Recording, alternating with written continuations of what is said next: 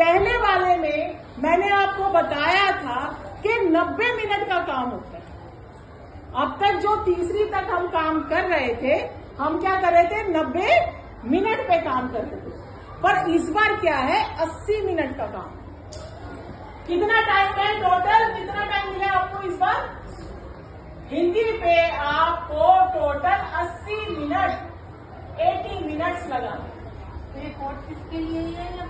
Fourth fifth के लिए अब जो बातें करी, हमने शिक्षण पद्धति की बात करी थी, विषय वस्तु की बात कही थी, भाषा शिक्षण कौशल की बात कही थी, सिद्धांत की बात की वो चौथी पांचवी की बात चल रही थी, कल से मैंने बताया था, जब प्रिपेटरी स्टेज हमने स्टार्ट कर दिया।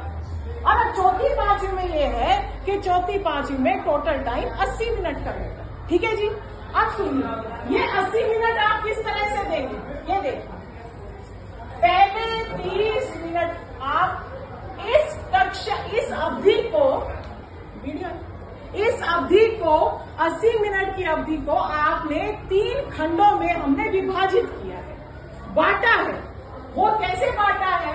पहला खंड अवधि के बेसिस पे अगर मैं बात करूँ तो पहले खंड में हमारा कितना मिनट का टाइम है? 30 मिनट और वो किस पे हम टाइम लगाएँगे? पाठ्य पुस्तक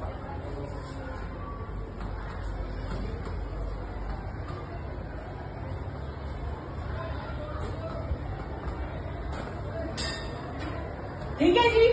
खंड एक में 30 मिनट हम किस पे काम करेंगे? पाठ्य पुस्तक पर काम करेंगे। उसके बाद में खंड दो।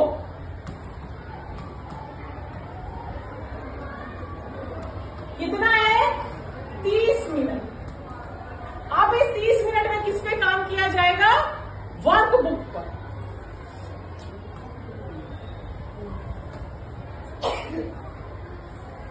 अभ्यास पुस्तिका। ठीक है जी? क्लियर है मैडम? क्लियर है सर उसके बाद हमारा तीसरा खंड आता है। और इस तीसरे खंड पे जो हमारी चौथी पांचवी में एनसीएफ एससी कहता है, यानी कि राष्ट्रीय पाठ्य पुस्तक की रूपरेखा किसके लिए? विद्यालय शिक्षा के लिए स्कूल एजुकेशन के लिए, उसमें स्पेशली अनुशंसा करती है रिकमेंड करती है कि एक घंटा आपको 20 मिनट किस पे देने हैं? पुस्तकालय पे देने हैं, बाल साहित्य पे देना है। यहाँ पर बच्चों को पुस्तकालय की किताबें लाइब्रेरी की किताबें स्वतंत्र रूप से पढ़ने का पूरी पूरी आज़ादी हो, बच्चा, बच्चे की पढ़ने में रुचि डेवलप हो, विकसित हो। तो ये 20 मिनट हमने दिए हैं। लाइब्रेरी की बुक्स पे, पुस्तकालय पे, बाल साहित्य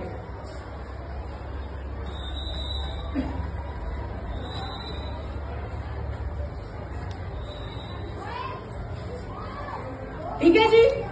क्लियर है? तो मैं यहाँ से बताना चाह रही हूँ 80 मिनट का दैनिक रहेगा। पहला 30 मिनट आपका किस पे जाएगा।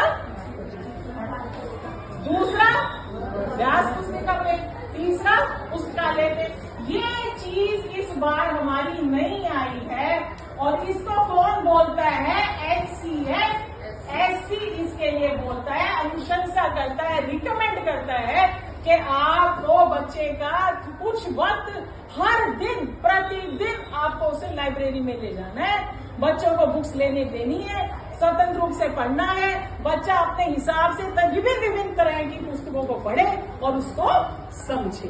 तो ये चीज़ें हमारी नहीं आई है जिसकी कौन बात करते हैं? NCR SC school education. ठीक है जी?